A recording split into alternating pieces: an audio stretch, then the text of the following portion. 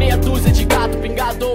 Tô lutando, puxando a raiz, copiando o estilo largado, corpo tatuado, cadê cicatriz? Ser feliz vai além do sorriso do tênis que eu piso. Salve rapaziada do Tiro, suavidade total, Mirim na voz e no vídeo. Estamos aqui para mais um Tiro de Festa, que é o podcast do Movimento Airsoft. E hoje, rapaziada, o meu convidado é um cara sensacional, sem palavras para descrever esse mano, Nilson Azevedo. Pô, tamo junto aí, Mirim. Esquadrão Malditos, o cara que representa muito no Airsoft aqui na nossa cidade, fazendo muitos jogos, fazendo muita coisa diferente, sempre criando, sempre estando à frente do, do movimento do Airsoft na cidade. Beleza? Nilson, me conta aí, cara, como é que foi assim, o seu começo? Como é que você começou no Airsoft? Eu começo, cara, eu comecei o seguinte, foi vendo no Facebook. Aí foi, pô, isso é bacana, me interessa. Aí eu dei uma sorte danada, que é. Eu entrei em contato pelo Facebook com o Abreu, Da MAC? do MAC. Do MAC. Aí ele me Salve, passou, Abreu. Aí ele passou o bisu pra mim, aí ele falou, procura uma equipe aí em Friburgo, alguma coisa, aí tinha, existia a NF. Aí eu fui, procurei quem? O Will, de Charlie. O Will, que hoje é da Charlie. É, o Will da, que, hoje é da. Charlie. Aí o Will me convidou pra mim ir na fundação fazer um jogo. Aí eu comprei, humildemente, eu comprei uma, uma G36 Toyzinha. Toy, todo mundo, né? Todo Aí, mundo se pô. loca também. O diretor aí também tinha uma G36 Toy quando começou. Aí eu comecei com a Toyzinha, mas foi um jogo só. Com a Toy só foi um. Foi só um jogo. Só aguentou um? Não aguentei não. Não aguentou mais. Aí eu falei, falei, pô, eu vou ter que trocar essa arma, brother. Troca essa arma porque, porra, descompensa demais, menino. Aí você só É, você pegar- começa, pau, pau, pau, você tá atirando, tá, tá maneiro, mas quando vê o cara do seu lado começa a atirar, que você vê que a dele. Pô, meu É, irmão! você atira no cara, o cara vai lá, sua balinha vai, tum, a dele, tuf, você aí. A, de- a sua chegou a pluma, a dele chegou um tijolo, né, mano? Aí, meu irmão, aí eu parti pra outra, né? Mas foi a G36 no começo, Aí eu né? comecei com a minha 36. Isso foi em que ano, cara? 2000, em 2015. 2015, foi legal. Já tem um, tem um rim já de, de airsoft Aí, aí, né? começamos com a NF, jogamos, né? Aí depois a NF cresceu muito, Deu muito operador, aí né? começou a dar muita operação de emergência, aí quando vê, a galera um, montou uma equipe, que era, se não me engano, foi a Charlie primeiro. Aí depois foi, nós montamos com o Renegado. Depois do Renegado, Da, da. Anf foi enraizando. É, aí foi montando as Foi equipes. legal. Entendeu? Que aí cada um tem o seu comando, cada um tem a sua, suas regras, entendeu? Cada um fez suas Tem um jeito de, de, de E hoje levar chegou aí a. Hoje temos 12, né? É. 12 equipes. 12, daí pra mais, né? Se bobear surge mais aí. É o que eu falo pra rapaziada. Não, surgir. eu falo rapaziada, meu irmão, não se encaixou na equipe, ah, eu quero montar, só não para de jogar. Não para de jogar. Não para de assim, jogar. Eu sou desse tipo aí. Eu também, só penso E assim. eu, eu, eu, na época, eu fui um celeiro de, de equipes, né? Porque nós montamos a CIA, hoje a CIA existe porque veio do esquadrão também, né? Malditos, E, e o Anjo da Guerra, Anjo da Guerra, legal. entendeu? legal. Que quiseram CIA, montar, fizeram as né? coisas. Pacheco falou, ah, vamos montar uma equipe lá em Varginha Alta. Eu falei, vai embora, irmão, vai, vai com fé e só não para. Isso aí, isso aí. Parte pra depois da, da G36, mesma coisa que eu falei com o diretor aí, rapaziada, diretor da G36 aí, que todo mundo sabe quem que é. Depois da G36, qual foi a primeira? Eu falei assim, não, agora eu vou, vou largar a G36 e vou pegar uma outra. é, eu peguei uma M4 GG. GG, aí já foi uma. É, aí eu peguei uma maquininha melhor. uma... Pô, um salto, né? Não, já aí foi eu um peguei uma maquininha melhor. Eu, fiquei doido, E né? você teve muita, muita arma. Tipo assim, você teve a G36, depois você teve essa M4 da GG, até hoje você tá com a KM15 Não, hoje? hoje, hoje eu tô com KM15. eu KM15, troco- até chegar na KM15, você teve muita, muita arma nesse. Não. Poucas? Poucas.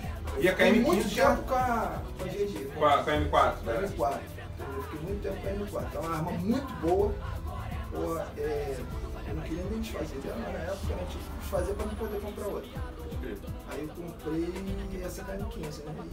E ela é fumeta, do jeito que eu gosto, É outra pesada. parada, é outra parada. Pesada, eu- ela DMR absurda, né? fica igual que se fosse real. Real, né? Mais pra cima da, da realidade.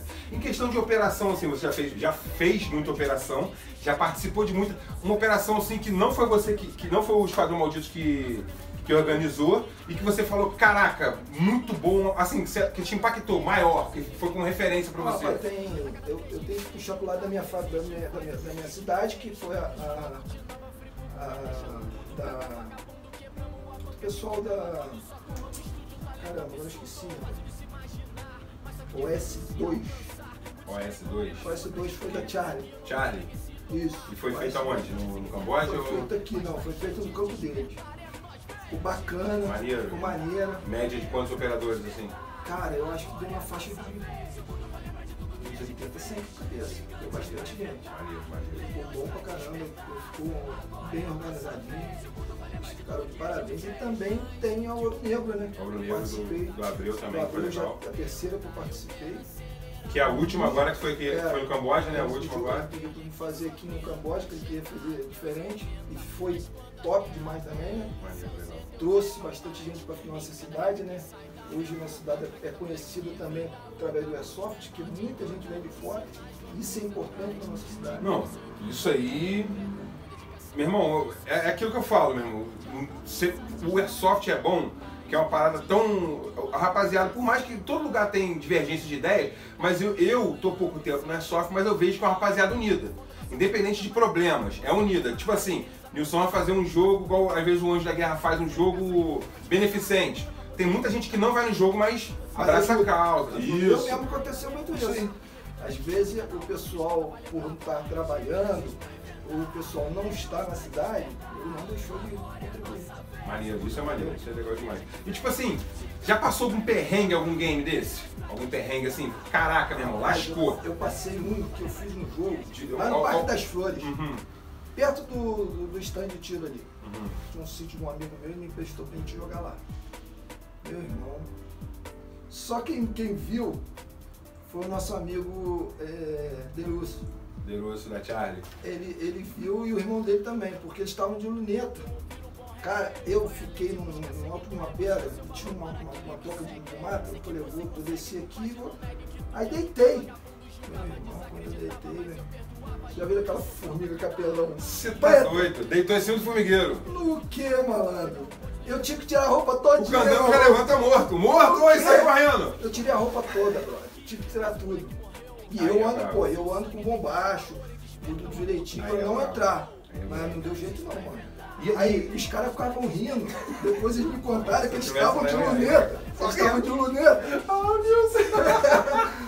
Foi, os caras só me zoaram. Aí, Nilson, o que aconteceu lá que você ficou pelado lá do morro? Aí, Falei, aí eu aí vou explicar qual ousado. foi, né? E algum, algum, assim, algum perrengue mais assim, médico?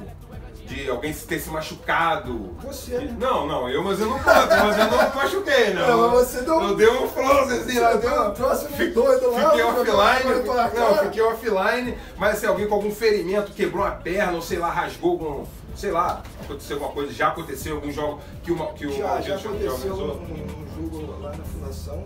Na época, a gente.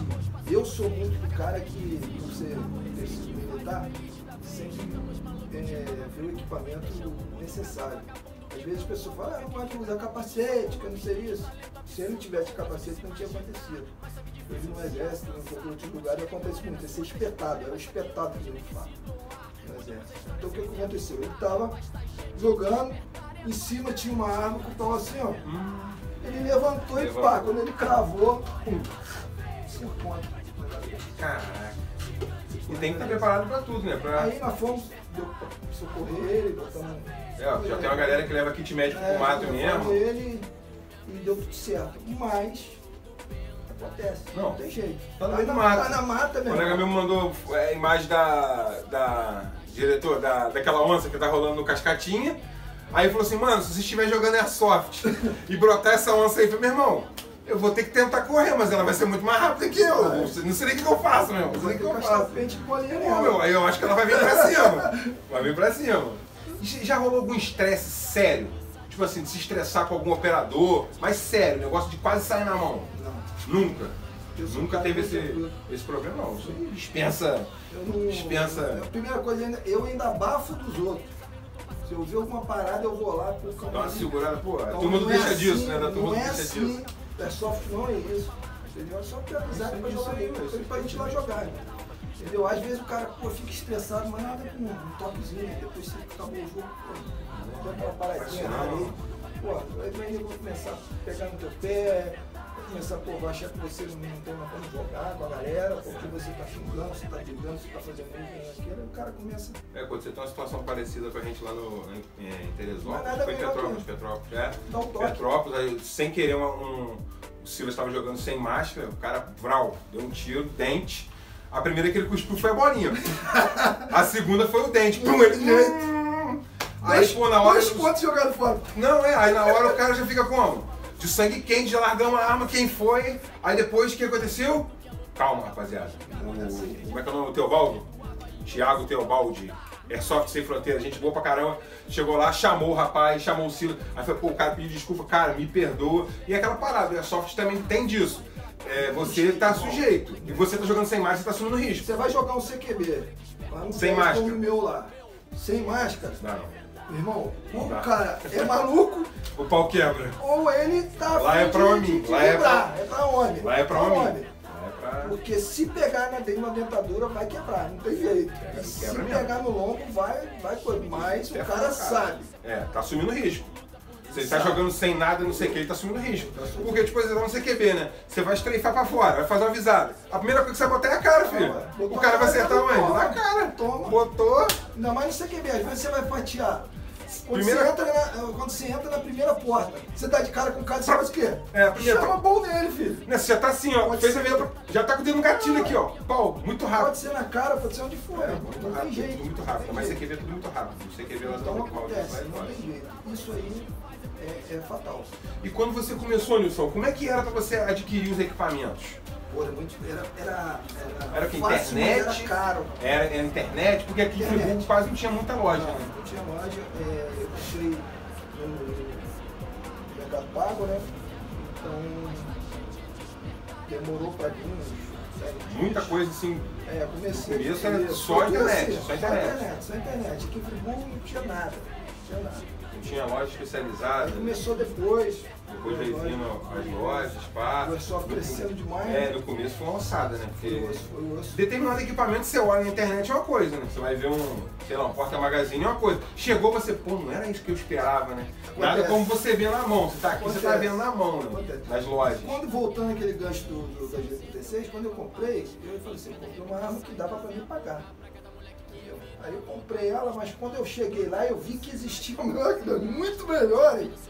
E com preço também, de repente, pouca mais. É, a diferença era pouca, né? Entendeu? Até um pouco por desinformação É, ainda, né? desinformação, Tava não sabia de nada, começando. de nada. Aí, né, pô, vou nessa aqui, que essa aqui tá com preço que é legal, é bonita, legal. porque a G36 é bonitinha, velho. Eu acho maneirinho. É, eu acho bacana Eu acho maneiro, é meio acho futurista e tal. E- Eu acho. Então, aí quando você começa a trocar ideia com a rapaziada, aí você começa a ver que, pô, pô, não, mas 36 é bomzinho, dá pra você jogar um CQBzinho, dá pra você jogar um. Até um airsoft, pra quem tá começando, não sou nada contra não, acho que eu comecei por isso mesmo, acho que o cara tem que comprar o que ele É tem. isso aí, ué. Eu, eu canso de falar, moleque, ah, pô, eu quero jogar de pistola. Vai, mano. É você tá aí no pistola- A jogo. primeira pistola que eu peguei foi uma, uma, uma PTzinha. é, Spring. é, springzinha. Joguei maneiro, um CQBzinho maneiro. Pá, O negócio é você pá, ir. Pá, pá, que pá. Isso aí, ué. Pô, o Luquita do Manara agora, eu fiz até um, um react de um vídeo dele, mano. Ele fez, não sei o que, lá no Paraguai, lá, ele fez um jogo de, de shotgun da cima, de 12. Pra, pra, pau! E é matou pô. pra caraca, É filho. maneiríssimo, pô. E matou é muito. maneiríssimo, é maneiríssimo. Mas às vezes os caras, pô, ó, é caro, não, dá pra começar com uma coisinha mais barata. Dá, ué. O importante é dar, o cara primeiro lá. passo, isso. Vai dar o primeiro lá. passo. É que eu falo com a molecada, tá em comunhão com a rapaziada do Airsoft, às vezes aparece um negocinho lá, pô, fulano tá vendendo a minha aí, te financia, já te conhece, pá, né? aí já vai. Antigamente tinha muito daquele negócio do convite. Nós pegamos aí, o Silas sabe disso. Nós sempre é, convidamos porque o Airsoft é uma família e uma família que é um, é um, esporte que a gente tem que ter regras e respeito que a gente está fazendo. Então não era qualquer um que entrava. Hoje está mais fácil. Sempre falo pra galera, galera, vocês querem jogar Airsoft? Procure uma equipe. Lá eles vão te informar, te mostrar. Hoje tem o YouTube, hoje tem um monte de coisa que dá Eu acho ensinar, mas que o maneiro é o cara ir na equipe pra saber como ele Mas hoje está popularizando muito também, porque hoje as, as informações estão muito, muito instantâneas. Tipo assim, você fez um jogo domingo, eu fiz um jogo domingo, a gente vai lá e posta uma foto. Pá!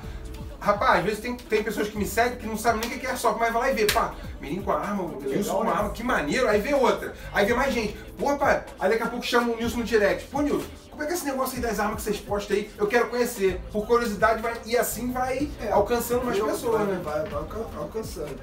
E isso é bacana, porque Demais, demais. é, a gente precisa de mais. demais. Quanto mais, melhor. Você vê que mais é um jogo, é um jogo que, que, que junta a galera, né? Tem as equipes aí, todo mundo dá bem.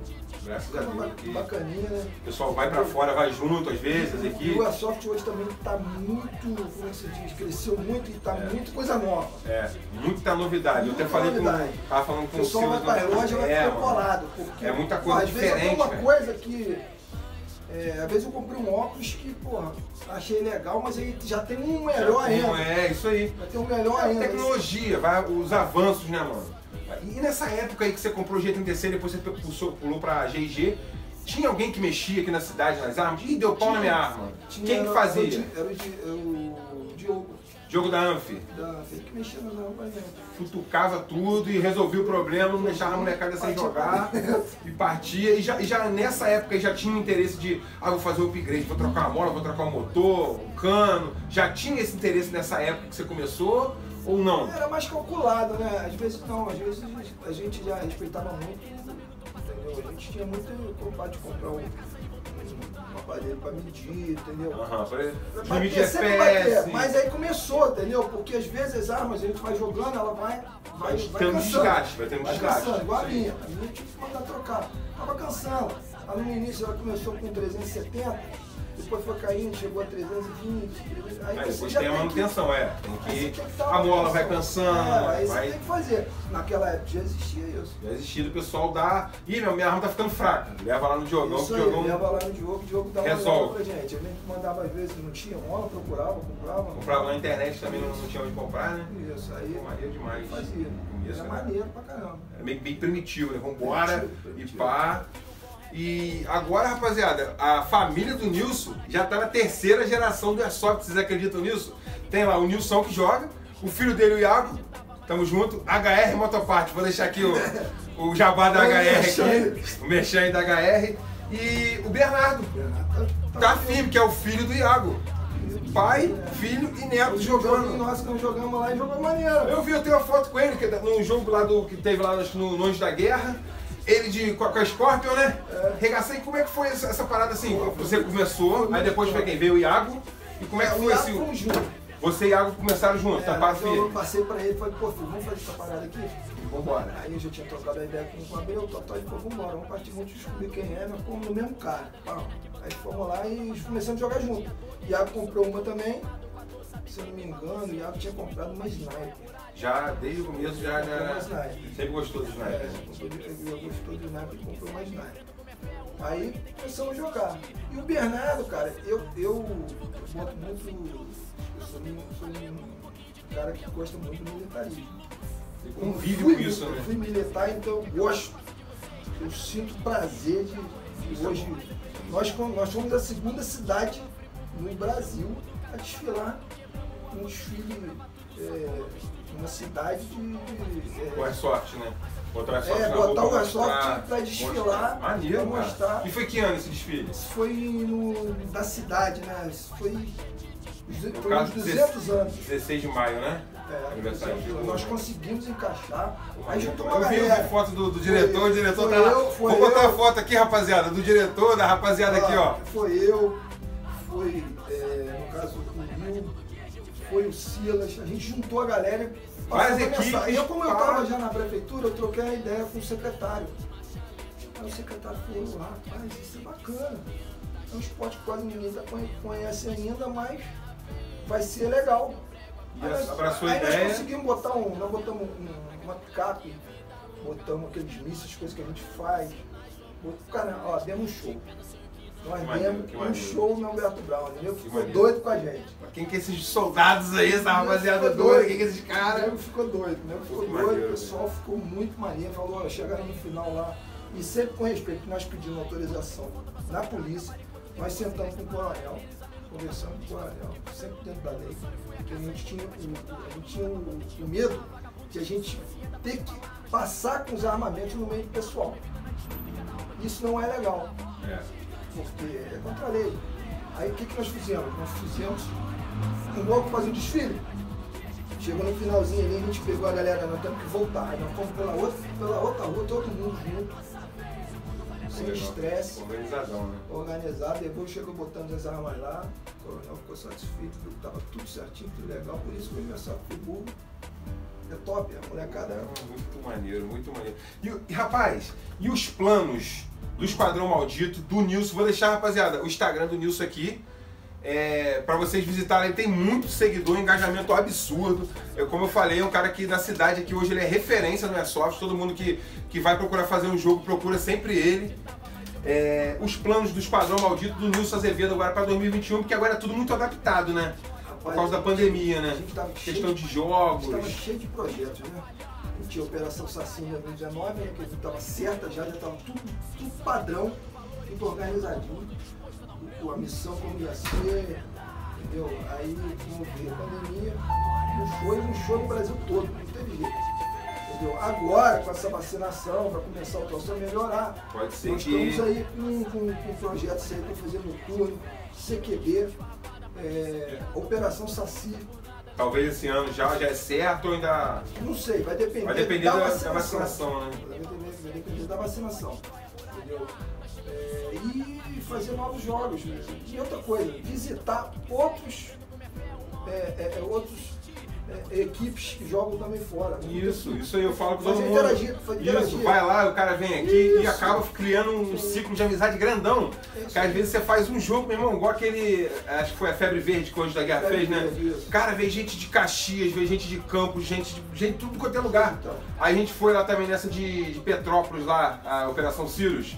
Cara, tinha gente do Brasil inteiro lá, que, que o Airsoft Sem Fronteiras fez também. Gente do Brasil inteiro. Isso é muito maneiro. Então, é Você isso chega lá, você faz, pô, dá seu Instagram, tira uma foto, cola aí, outra pessoa te conhece. Aí já, pô, vou chamar vocês pra vir aqui. Eu acho que é isso que é a parada mais maneira do é o Airsoft. maneiro do Airsoft. Isso que eu é- também acho bacana, Muito porque é, a gente tem, além do cara vir fazer um jogo bacana, ele conhece a nossa cidade. E a gente vai lá também Isso. prestigiar os caras e conhecer a cidade dos caras.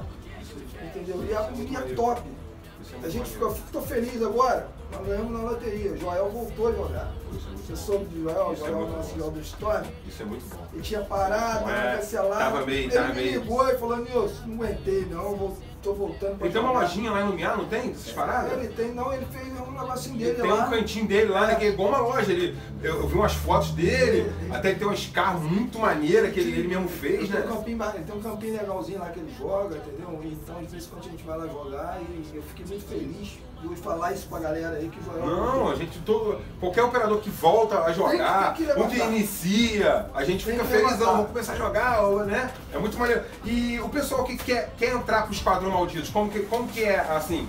Pô, eu quero, quero jogar sorte, vai lá e te procura. Nilson, quero jogar. Você vai levar o cara pro jogo. Como é que é essa. É, não, ele vai fazer essa- o seguinte, a primeira coisa que a gente vai, vai fazer, às vezes a gente faz muito pelo Facebook, o pessoal, pô, a gente marca um dia, tem um grupo, a gente vai levar, e vai ensinar ele como joga, vai botar um cara com ele, examinar ele, igual nós tivemos agora o William, que, que, que é um cara novo, fiquei eu mesmo que fiquei com ele, Já vai analisando ali, já vai dando estoque. já vai dando estoque, entendeu? Morreu, se acusou, Isso aí. entendeu? É, Importante. o bom, o bom do, do, do- do- do você botar um cara junto, que você vê o cara como, como o cara é. Se o cara já começar a não morrer, tá ruim, Ih, entendeu? Agora é o cara bateu, pá, tomou. Aí você fala, pô, esse aí já vi que tomou, né? Foi coisa. Então a gente vai olhando o cara, aí o que, que a gente faz? Faz o primeiro jogo, segundo e terceiro. Se a- adequou a nossa equipe. Depois do terceiro jogo já tá A efetivado, já é maldito. pra- A gente chama ele Pô, pra. legal, legal demais, legal demais. Mas a gente não tá podendo fazer treinamento, É. porque esse negócio. O treinamento já, né, é uma parada mais física e é mais junto ali, às vezes A tem que tem puxar o cara. bom pra fazer, É. eu, eu tenho algumas práticas de.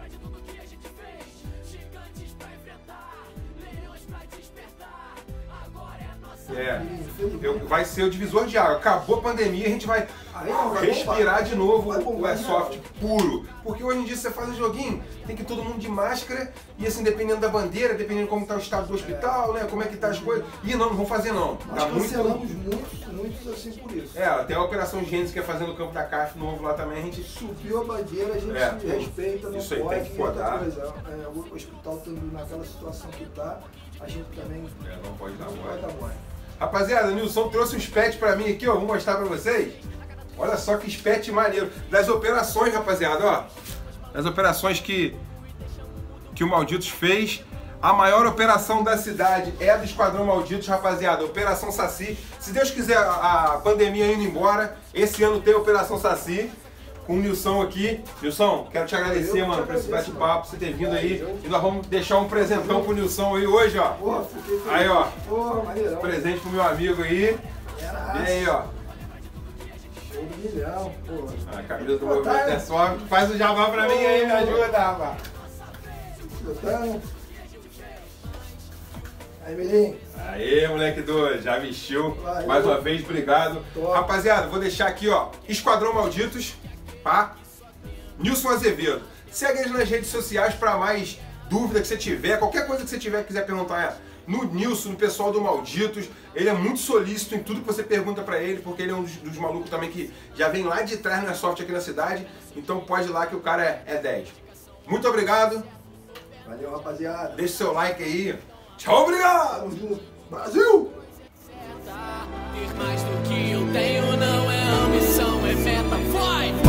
volta pra sua vida acabar E quanto tempo você gasta para a eternizar. Minuto passando disfarça por quem passa Eu lutei pelo meu sonho, fui a caça e voltei pra te contar. Todo luta pra poder te ocultar. Vagabundo te insulta, se é da pra te falar. Nós temos que opinar e pra guerra ou arregar. Pus minha vida na disputa e cada alma que me escuta vai lembrar. Vai, gigantes pra inventar